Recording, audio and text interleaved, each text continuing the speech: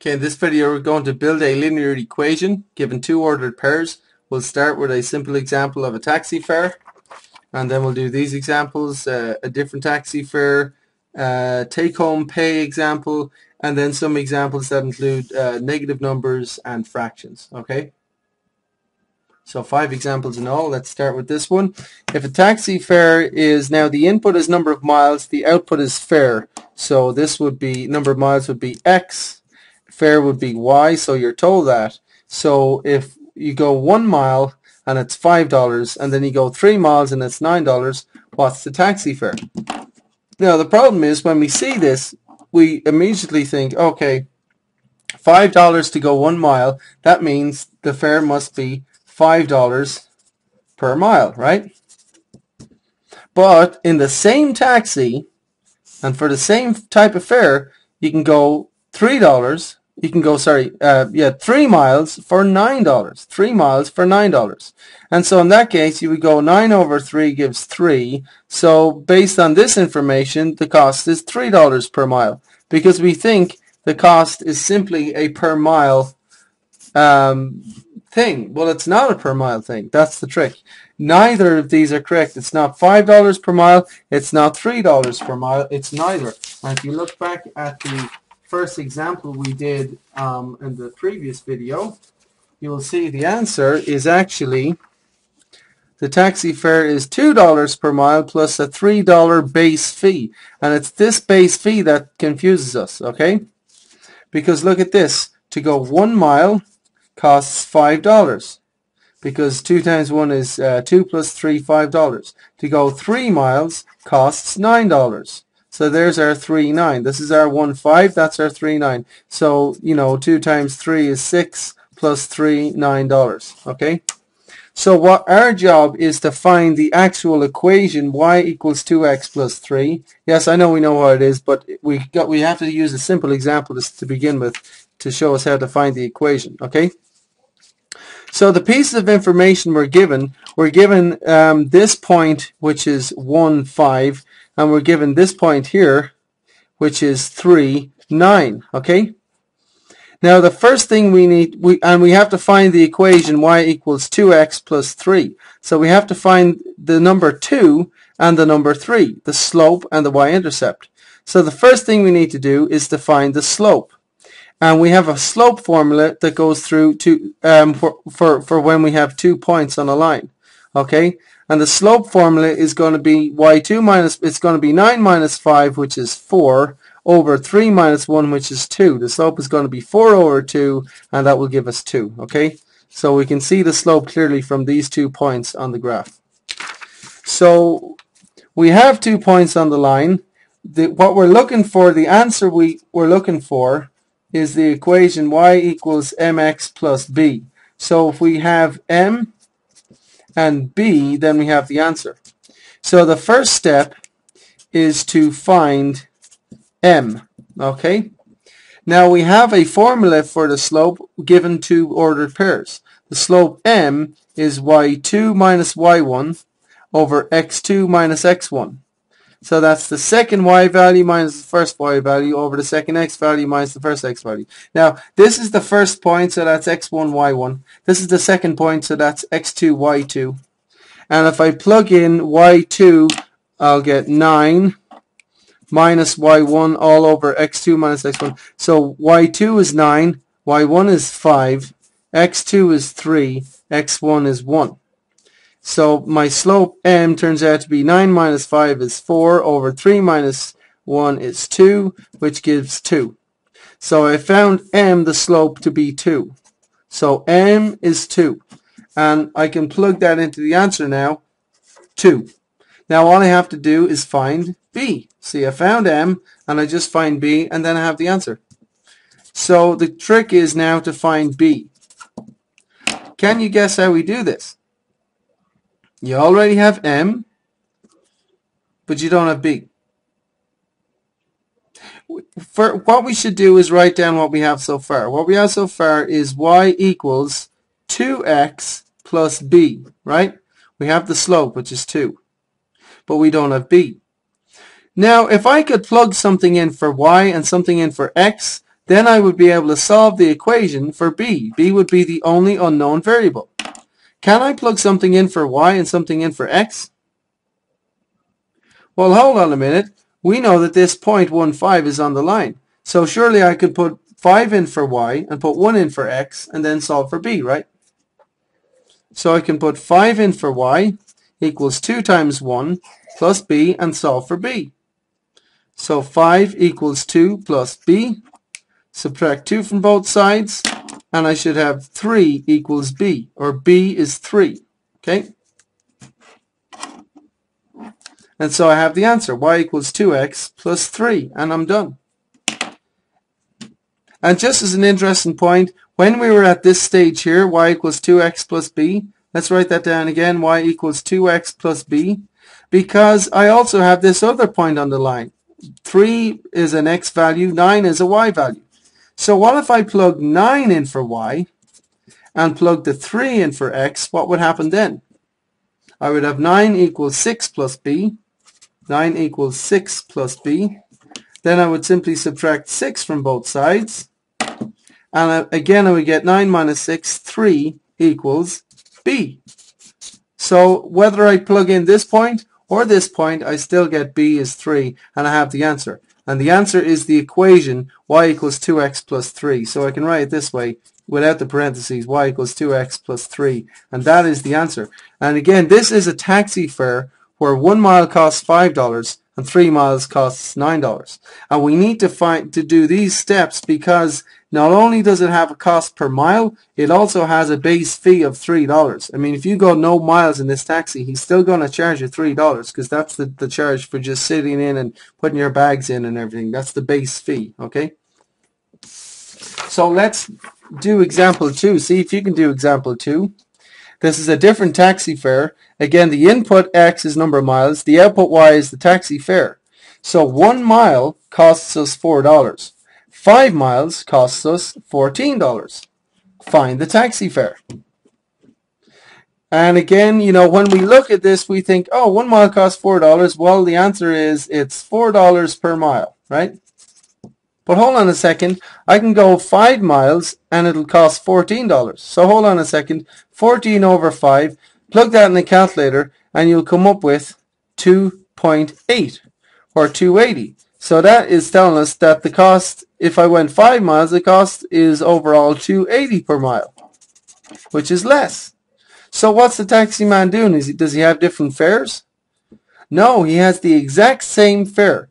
The trick is there is a base fee involved, which means that the fare isn't simply something per mile. It's not something per mile. So it's not $4 per mile. It's not 280 per mile. It's a little bit more complicated. There's a base fee involved, okay? And we're going to find that. So first of all, we need to know that our answer is in this form. It's in the form y equals mx plus b, where the m is the cost per mile and the b is the base fee part, okay? This is the slope and this is the y-intercept. So if I find m, and B, then I'm done and I have the answer. Now, these are two ordered pairs on a linear equation on a straight line. And so I can find, first of all, find m using the slope formula. This is the first point, x1, y1. This is the second point, x2, y2. And the slope formula is y2 minus y1 over x2 minus x1. Okay? So if I plug in values for y2, y1, x2, and x1, I'll get um, so something minus something over something minus something. y2, 14, y1, 4, x2, 5, x1, 1. And I get 10 over 4. Plug that in the calculator and as a decimal you'll find that that is 2.5 okay? So I have my slope m it's 2.5 put that into the answer. Now I'm halfway there. Because I need to find m and b then I'm done. So the the first step was find m. The second step is find b. Now can you remember how we do find b how we find b is we write down what we have so far in the equation. what we have so far is y equals 2.5 times x plus b. We don't have b, but we do have m. Now, if I can plug in a value for x and a value for y, then I'll be able to find b. It'll be the only unknown number in the equation. So can I plug in something for x and y? Well, let's go to the first point. x is 1, y is 4. See that? So I can plug 4 in for y equals 2.5 times plug 1 in for x and then add b and then solve the equation. So I have 4 equals 2.5. 2.5 times 1 is just 2.5 plus b. Now solve for b. Subtract 2.5 from both sides. And I get 1.5 equals b. Done. So I found m. Now I found b. And I can plug this in for b. 1.5. And I have the answer. That's it. That's the answer. y equals 2.5x plus 1.5. And again, I can rewrite that. Okay, y equals 250x, because we're talking about money here, plus 150. So the cost is actually $2.50 per mile, plus $1.50. And you can check that in your head, because look, 250 times 1 for 1 mile is 250 plus the base fee is of $1.50 and that costs us $4, right? 250 times 5 um, would give us $12.50 and then add $1.50. So this is $12.50 plus $1.50 which gives us $14. So to go 5 miles it costs $14 just as, as we were told here. So this equation is correct. And by the way, at this point here, at this point here, if we could also have plugged in, so we've got y equals, you know, 2.5x plus b, we could also have plugged in this x and y value. We could plug in 14 equals 2.5 times 5 plus b, and we would have found that b is 1.5 this way either, okay?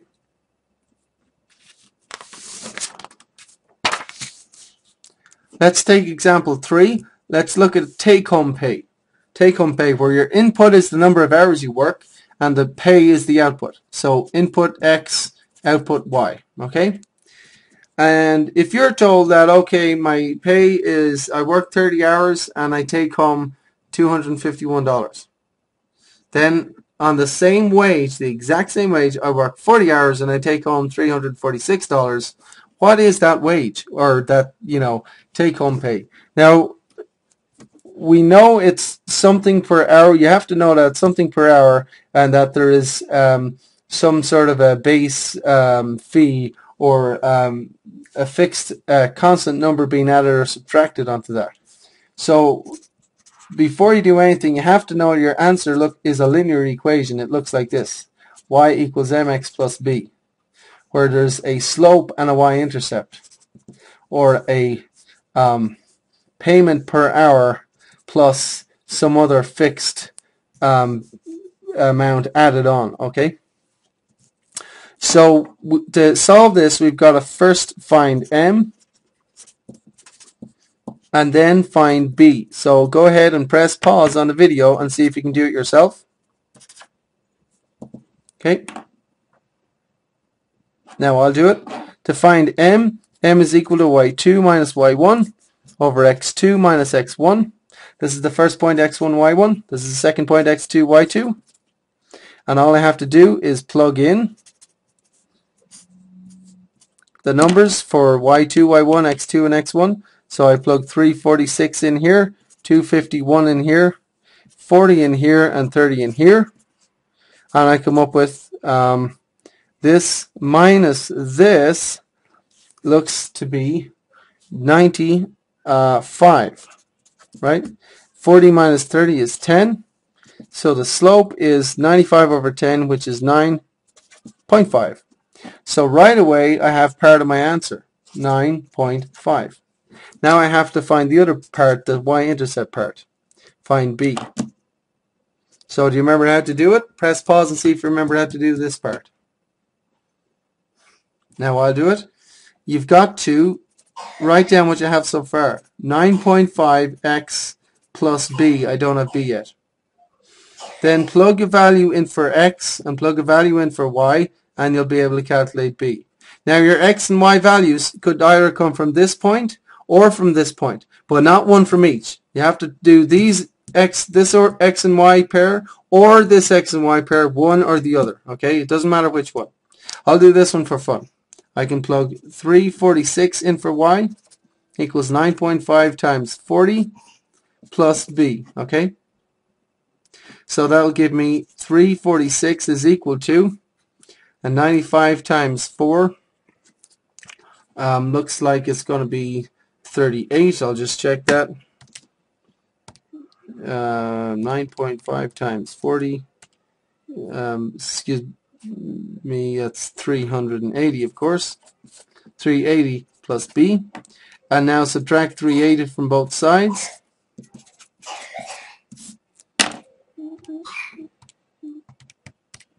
And we should get negative 34 equals b.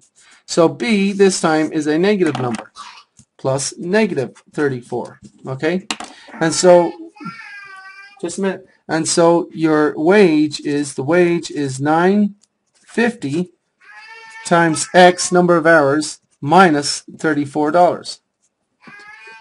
So it looks like um, you get paid $9.50 per hour and then this might be um, some money taken away through commuting or tax or something. Okay.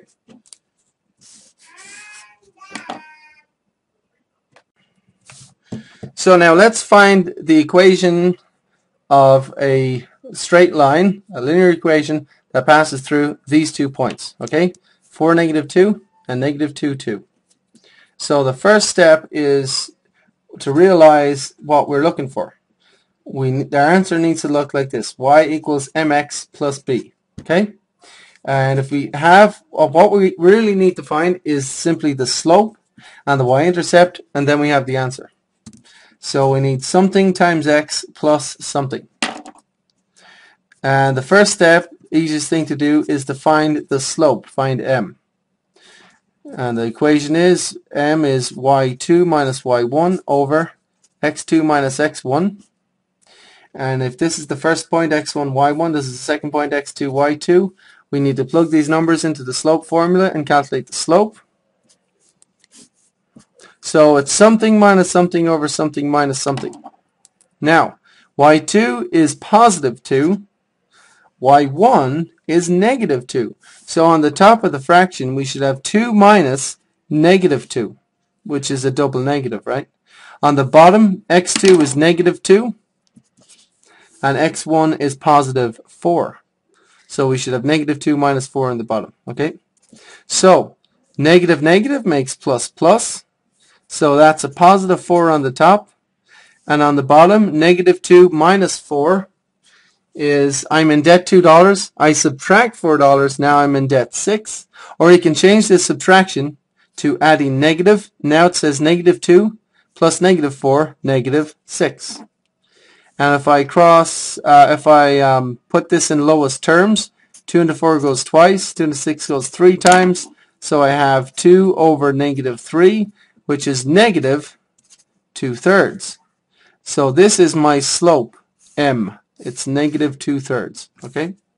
So now the second step is to find b. And see if you can do that. Press pause in the video. And what we need to do is write down what we have so far. We have y equals negative 2 thirds times x plus b. We have the slope, but we do not have the y-intercept yet. And now we can just plug in numbers for x and y and get calculate the answer. So y is negative 2. That's equal to negative 2 thirds times x, which is positive 4. If I plug this point in, y is negative 2 and x is positive 4. Then add b. Okay? And now I need to calculate with fractions. So I can write the 4 as 4 over 1. And if I multiply these fractions out, I have negative 2 equals negative 8 thirds plus b. Okay? then to get b by itself, I need to add a thirds to both sides. So now I need to do negative 2 plus 8 thirds. Negative 2 plus 8 thirds. Let me get a piece of uh, another piece of paper for that. So negative 2 can be written negative 2 over 1. And if I want to add thirds to it, I need to change this into thirds. Both bottoms need to be the same if I'm to add fractions. So I must multiply this by 3 over 3. And now negative 2 becomes negative 6 thirds. So now what I need to do is go negative 6 thirds plus 8 thirds. Okay. And negative 6 plus 8 is positive 2, so the answer is 2 thirds. Okay, so on the left hand side I have 2 thirds, so 2 thirds equals B. So M, so we found that the slope is negative 2 thirds and the y-intercept B is positive 2 thirds. So y should equal negative 2 thirds times x plus 2 thirds. Or written this way, you know, y is negative 2 thirds times x plus 2 thirds. Okay.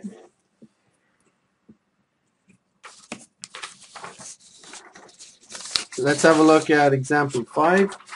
See if you can do this one. Find the equation, linear equation that passes through these two points. And our answer is going to look like this. y equals mx plus b. So we have to find, first find m. And the second thing we have to do is to find b. Okay. Now m again is y2 minus y1 over x2 minus x1. This is the first point, x1, y1. This is the second point, x2, y2. So the slope is y2, which is negative 2, minus y1, which is negative 3. So you have negative 2 minus negative 3, all over x2, which is negative 4, minus x1, which is negative 1. So on the bottom, I should have negative 1 minus negative, or sorry, negative 4 minus negative 1. So on the top, this double negative makes plus plus, and now it says negative 2 plus positive 3 gives positive 1. On the bottom, negative 4 minus negative 1, that's plus plus, that's negative 4 plus positive 1, negative 3. So now my slope is negative 1 third. The slope is negative 1 third, okay? Now find the y-intercept, find b. Write down what you have so far. You have y equals negative 1 third times x plus b, okay? And plug in one of these values. You can plug this in or this in. It doesn't matter. Just for fun, I'll plug in this point. I'll let y be negative 2. I'll let x be negative 4. And I'll find b. Okay? So I have to multiply these fractions first of all. And negative 1 third times negative 4 is negative a third times negative 4 over 1. Negative times negative is positive, and that's positive um, 4 over 3. So I have negative 2 equals 4 thirds plus b. And once again, I have to turn this negative 2 into thirds. So because I've got to now subtract 4 thirds from both sides. So I've got to calculate negative 2 minus 4 thirds. So change this negative 2 into thirds. Right negative 2 is negative 2 over 1. Multiply it by 3 over 3. And now it becomes uh, negative 6 thirds. So negative 6 thirds minus 4 thirds gives negative 10 thirds. So negative 10 thirds equals B, and that's the answer, okay? So M is negative 1 third, B is negative 10 thirds, so my answer is simply negative 1 third x plus negative 10 thirds or minus 10 thirds. Okay? And if you wanted to check any of these on a graph, it wouldn't be very hard. Just get a piece of graphing paper and plot the two points and then see if it worked out. So I could plot, get a xy axis, plot negative 1, negative 3, negative 1, negative 3, and negative 4, negative 2, negative 4, negative 2. And if I were to draw a line through these points, a straight line, okay, the slope the slope is, if, to get from this point to this point, I run 3 and I fall 1. So I rise negative 1. So the slope m is rise over run. And I ran 3 units and I fell down 1, so I rose negative 1. And so the slope is indeed um, negative 1 third.